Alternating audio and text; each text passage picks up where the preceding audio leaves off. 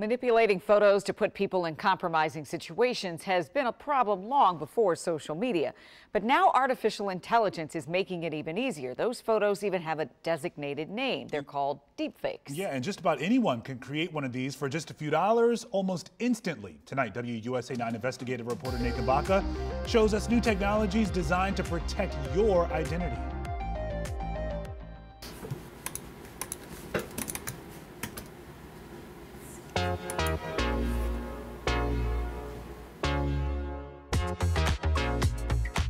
Video game streamer Sweet Anita has around 3 million followers on YouTube and Twitch. But late January, images of her face superimposed onto another woman's body in a pornographic picture were widely distributed around the internet. I was just suddenly confronted with loads of images of me doing things I'd never done. And they were so realistic. And I was just uh, heartbreaking. How did that make you feel? Honestly numb and exhausted because I feel like this is something that quite a lot of um, just women in general have to go through. AI programs, with the help of a few typed in prompts, can now create deepfake images quickly and cheaply. Aleksander Madry at the Massachusetts Institute of Technology grabbed some of my social media pictures. Nathan, like we found some of your Instagram photos. So for instance, over here we have your photo. It's, you know, it's you in the capital. But now, if we wanted to put you in Roman Empire, for instance.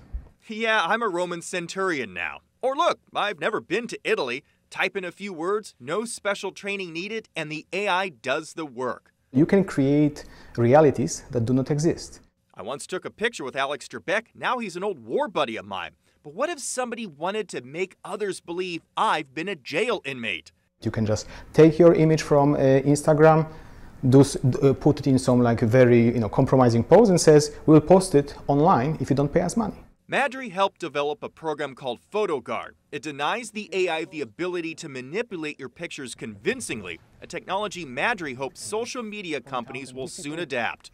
Think of this as adding a protective layer on it that is invisible to you. The results of images on the internet, even fake ones, can, can last forever. Virginia State Senator Adam Ebbin wrote a 2019 law and made creating and distributing deep fake pornography images illegal. We don't have a federal law prohibiting it.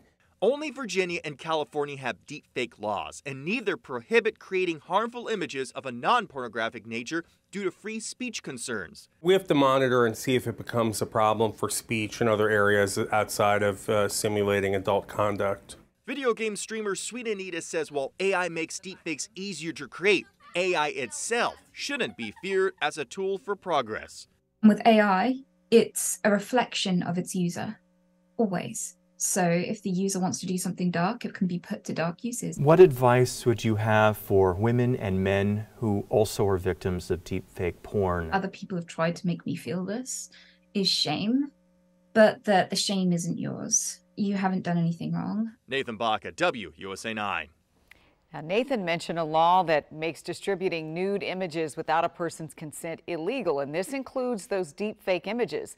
The crime is considered a class one misdemeanor. It is punishable by up to a year in prison or $2,500 in fines if convicted. All right, a lot of you were talking about this.